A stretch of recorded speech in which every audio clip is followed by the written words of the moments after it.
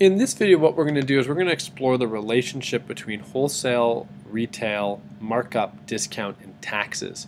And uh, the first thing we need to really understand is that all of these things are just different forms of change.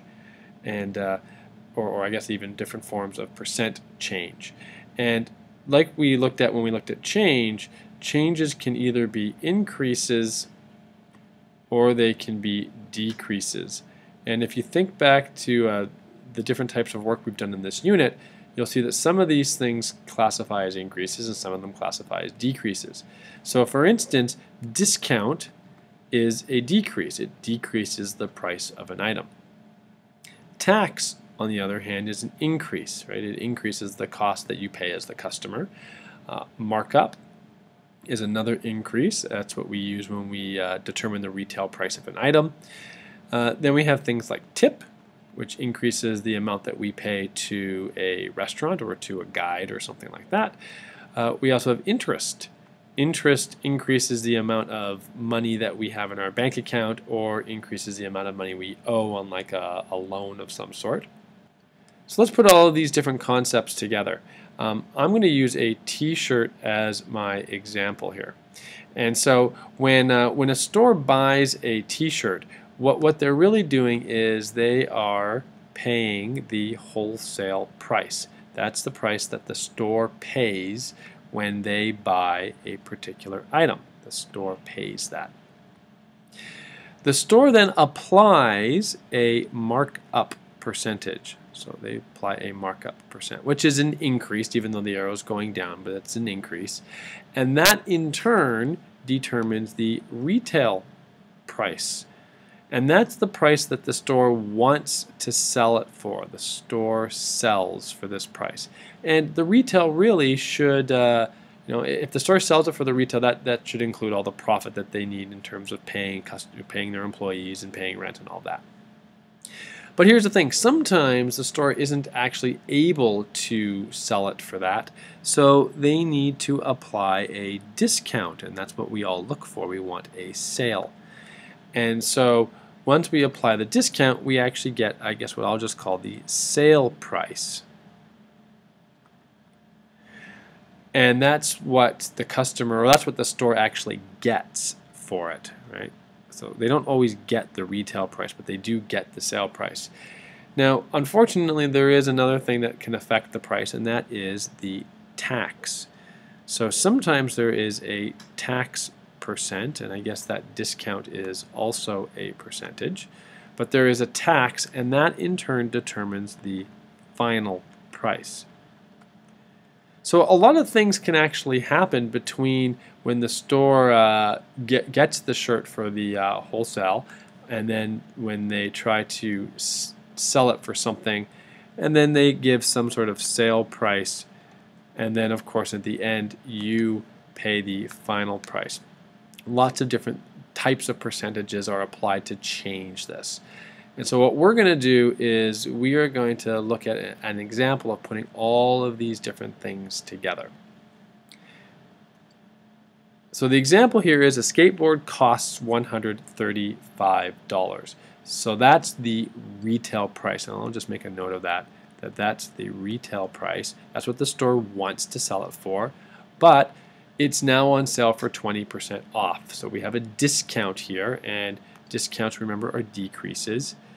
And you are going to pay an 8% tax, so there's going to be an increase at the end. So the question is, what's the final cost of the skateboard?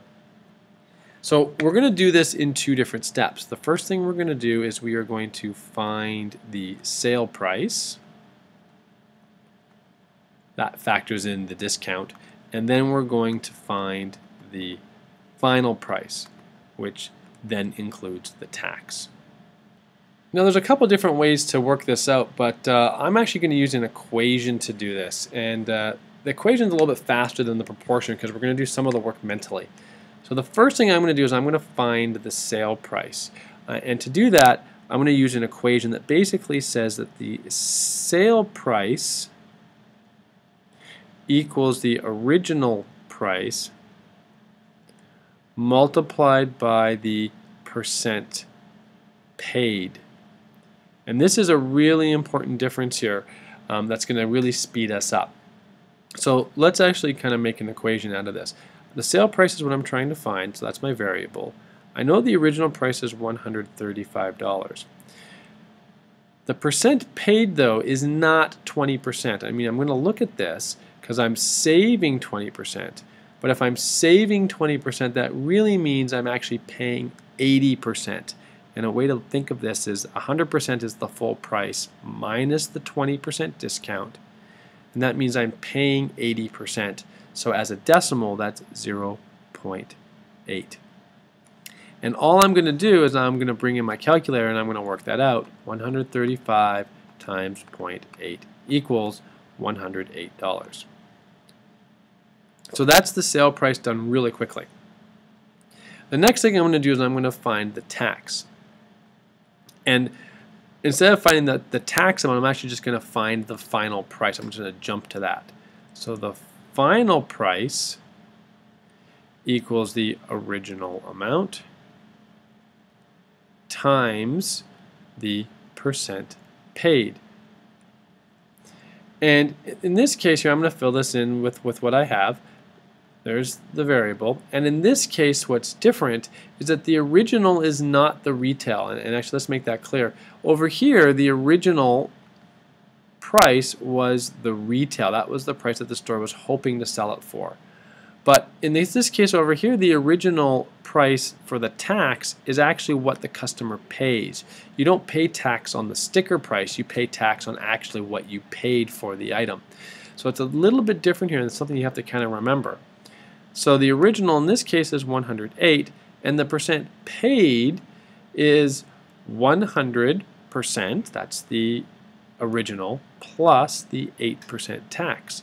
So I'm really paying 108%. Remember, tax is an increase, so the number has to be above 100. And 108 as a decimal is 1.08.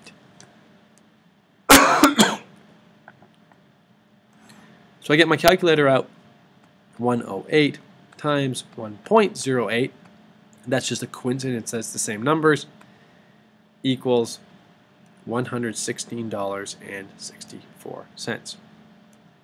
So this is how we can use an equation to actually figure out the final price of an item by using a couple of different steps.